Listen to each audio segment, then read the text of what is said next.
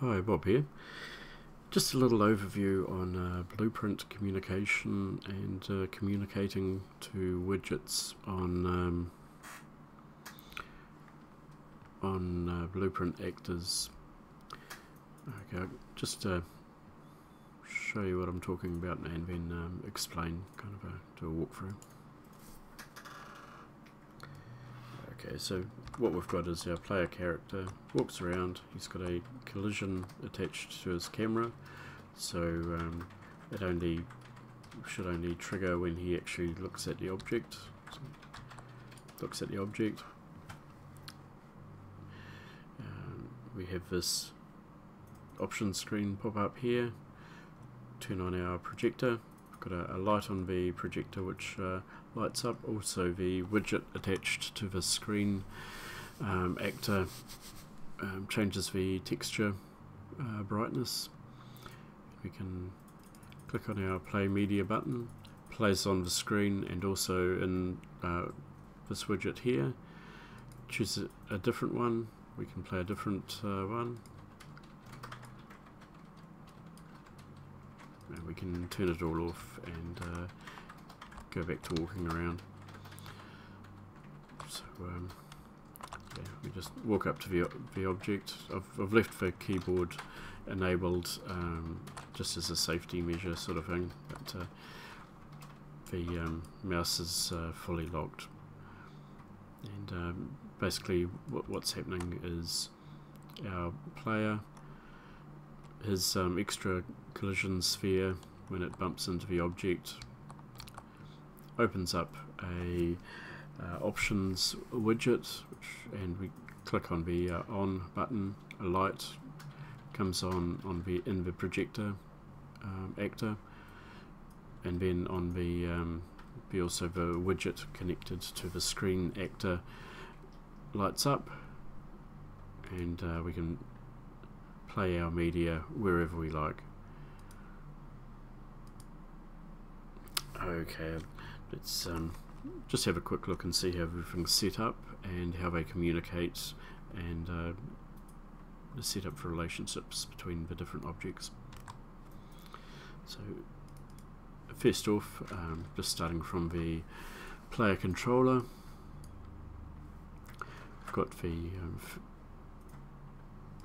just casting through to the um, third person character pawn there and feeding through a uh, reference of self to a variable we've got inside them there. Then we create the main in-game widget and get a reference in here and also feed through a reference into the uh, the pawn as well and then we add it to the viewport that's that's all we're doing in the uh, player controller okay and we'll um, just jump into our third person character. Now, um, the, the, next thing that uh, that happens is uh, the collision on the third third person character. So we'll have a look at him when he collides. When he's uh, got this little sphere here, just sitting out in front of him, which is attached to the camera. So uh, it'll only it'll move around um, in line with the camera so uh, unless he's looking at something he's not going to trigger trigger anything and then we'll have a quick look at the uh, overlap here using a blueprint interface to get the information that we need and uh, set up for relationships um, if you haven't used one before a blueprint interface just go along here blueprints blueprint interface, create one, set up a, a function with all the information, uh, creating outputs and inputs with uh, the information you want to transfer between the blueprints. Then on the the um, that you want to collide with or get the information from um, under the class settings add the interface under interfaces and that will appear down here as uh, functions under interfaces. So um, we've got here this uh, projector one here. Just um, set up a. You can put anything you like inside here. It'll just appear with the input and output, and um, whatever you need to do to get the information out. Now, um, for one little kind of tricky thing, the way I've set it up here is I have dropped a projector into the scene and also dropped a screen into the scene as well and then just grabbed the screen here and dropped them on top of the projector. So drop them on there. Boom. It becomes a um, a sub ob object of the projector. So he, he's attached. So the word to use is attached. So there's a, a relationship between those two set up. And this way you can move the, sc the screen around independently uh, independent of the projector but when you move the projector around it's um, there's a relationship between the two. So it's um, just a, a, nice easy way of pos position, positioning them and setting up a relationship. Now the, the one tricky thing is with our screen actor here we've dropped a, um, a widget, attached a widget to the actor and when you do that the actual widget you're using um, in my case here the W screen widget is uh, is a kind of a, a subclass of this um, widget component. So you, you can't get a, a, direct connection between the two. You're going to have to um, get this reference, um, draw a cast off it, and cast to the, um, the actual screen widget itself to set up the relationship, uh, which is what we're doing in here. So we've got our attached actors, there's only one, so it'll be at uh, index 0. Cast to the screen, because this just outputs actors and uh, our, our screen blueprint here, which is everything here, the physical one, um, is a subclass of actor. We use casts. From there, we're dragging out the component, uh, which I've named uh, movie C movie screen, and then we have to get user widget object, and then cast to this little guy here and uh, at this stage I think that's the only way you can get hold of him and communicate directly or indirectly with him.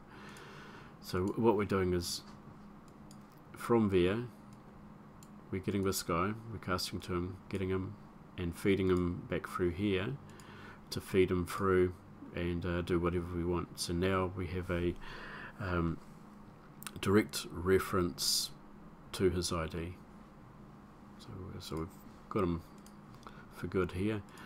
So we bump into him, bump into the projector, we're getting our um, the widget, the actual physical um, screen um, actor class, and also the projector as well. You know, you can put anything you like in there and feed through so you get your relationships set up. Now, uh, with my HUD reference that I set up previously, the um, projector options widget just sits inside them. So just uh, take a second here. So we've got our, our main HUD sitting here. Down in the corner we've got our projector options just set to hidden and um, all we're doing is switching between hidden and visual to see him. Um, and no, nothing else. That's all we've got in, in there. So we go back here. From the, uh, oh, sorry, from the options, um, jump back in there. Just got the one function in there to set up the variables. So now we've got all the variables we need sitting in here for our um, on-click events. Okay, go back here. Um, so yeah, we feed all the variables through. so they're all sitting in the uh, options there and we can now use that to um, connect and uh, communicate directly through to the uh, display widget that's attached to the screen object. And set visibility um, stop for mouse movement uh, which is just set that up as a, a, a boolean with a switch um, to uh, stop for pitch and yaw so the um, so you've isolated your character basically and then setting up our mouse input and show mouse cursor and then um, reversing them when we either trigger the uh, off event or um, stop the uh, overlap. If we look away or step back from the uh, from the actual um, projector so it turns everything off okay so um, after we've bumped into the, the uh, the projector our options screen pops up. This um, an options display that is just a, a W screen widget which I've dropped in there. And uh, we've got our set of buttons here for whatever options you want okay we'll have a, a quick look here so uh, on click turn on got a got our reference to the actual um, projector that we have in the scene. We've got a little light switch on them to turn a light on and off, uh, nothing complicated there. So we connect, we're affecting the projector and then um, this is the reference which we fed through and um, on the screen widget which is the W screen widget which we've got in two places. We've got a reset function here um, that's just to alter the brightness of a just a normal texture on the screen just to give the impression that it's turning on and off. You could whack, whack in all sorts of sounds and uh, a nice little intro um, scratchy video or whatever you know just to show that the communications possible there and um, what was that for? Oh, that was for the um, the version of the uh, media screen to display it. So uh, just have a quick look at that uh, reset thing there. It's um, just using a normal texture and uh, either setting it to dull or bright. Uh, all we've got in there for the reset function. And uh, let's see now for playing the media files uh, just an on click event. Um, just got a little switch to see whether you can turn it on or not. And then uh, just plugged in the uh, our, re our reference to the widget attached to the screen and also just done the same thing with the one inside the widget here as well. And this will play from a media library set from um, whatever index you choose from.